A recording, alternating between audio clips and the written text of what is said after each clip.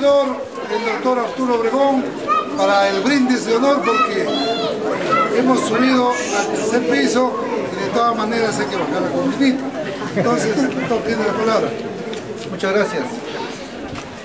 Señores dignos visitantes de Chiquián, me refiero a todos en el sentido amplio, señores pobladores y todos. En verdad me siento muy honrado en este instante al hacer uso de la palabra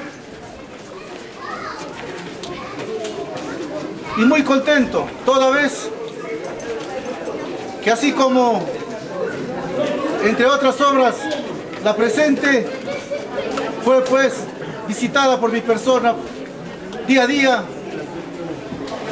juntamente a nuestro técnico mi amigo Rodolfo el cual pues vimos cómo día a día se formaba un muro cómo se hacía el techo cómo se logró concretar uh, todo. Por ello mismo me siento muy contento.